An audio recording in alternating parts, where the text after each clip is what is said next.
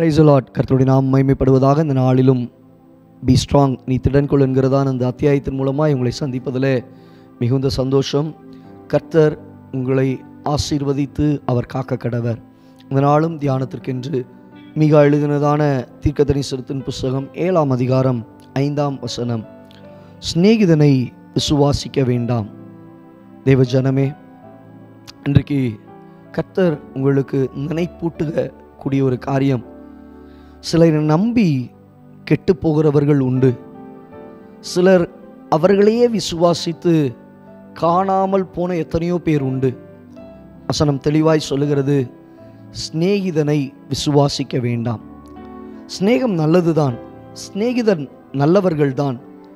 சிநேகிதன் எல்லா காலத்திலும் அவன் சிநேகிக்கிறான் என்று சொல்லி வசனத்தை நாம் வாசிக்கிறோம்.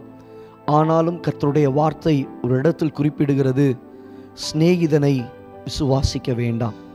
விசுவாசிக்கத்தக்க ஒருவர் உண்டு. சிநேகிதராயிருந்து உங்களை நடத்தத்தக்க ஒரு தெய்வம் உண்டு. நீங்கள் அவரை விசுவாசியுங்கள். உங்கள் சிநேகிதமான உங்களுடைய அந்தரங்க காரியங்களாக இருக்கட்டும் உங்களுடைய உள்ளான வேதனைக்குரிய காரியங்களாக இருக்கட்டும் உங்கள் நீங்கள் பகிர்ந்து கொள்ள நினைக்கிற காரியங்களாக இருக்கட்டும் அதை சிநேகிதனாகிய இயேசுவினிடத்திலே அதை சொல்லுங்கள்.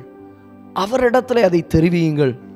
ஆனால் நாம் நினைக்கிற சிநேகிதர்கள் நீங்கள் நம்பி நிற்கக்கூடிய ஒரு சிநேகிதர்கள் வசனம் சொல்லுகிறது அவர்களை விசுவாசிக்க வேண்டாம்.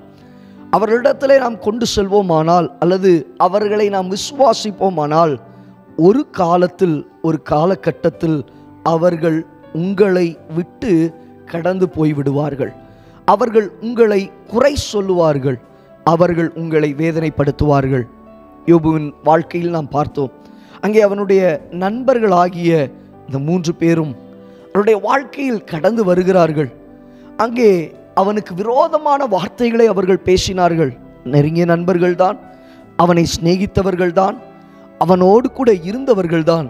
ஆனால் ஒரு பிரச்சனை என்று வந்த பொழுது அங்கே ஆறுதலாய் சொல்ல வந்தவர்கள் அவனை குத்த ஆரம்பித்தார்கள்.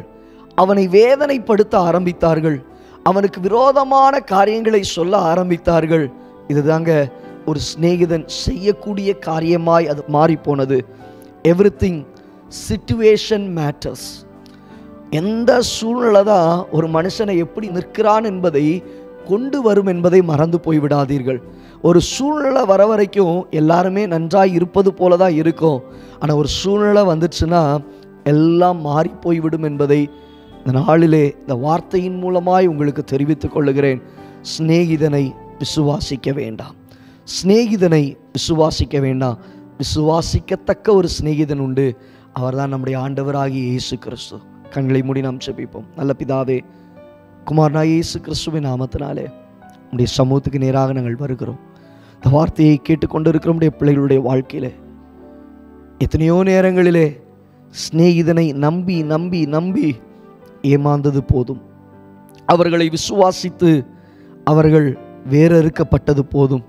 உன்னுடைய வாழ்க்கை உண்மையான சிநேகிதராகிய இயேசுவை விசுவாசிக்கத்தக்கதாக இயேசுவை நம்பத்தக்கதாக இயேசுவின் மீது பற்றுதலாய் இருக்கத்தக்க அனுபவங்களை கத்தனி தந்தருளும்படியாய் செபிக்கிறோம் ஆசீர்வதியும் வழி நடத்தும் இயேசுவின் நாமத்தில் பிதாவே ஆமேன்.